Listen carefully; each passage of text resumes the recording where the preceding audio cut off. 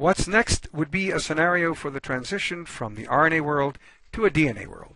This is basically a separation of information storage from the expression or processing of that information to make the working molecules of life. This cartoon summarizes a transition from an RNA world to a DNA world. While there's not really any experimental basis for this transition yet, we might speculate that viruses played a role. When RNA viruses inject their RNA into infected cells, their RNA is either directly translated into viral proteins, or depending on the virus, may first be replicated by RNA replicases before the RNA is translated.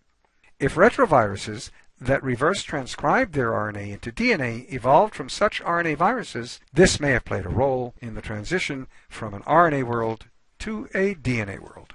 Of course, since all existing cells replicate and store genetic information in DNA and express the genetic information as messenger RNA, and because all cells translate genetic information in mRNAs into polypeptides, the pathway we refer to as the central dogma must have been in place by the time LUCA appeared.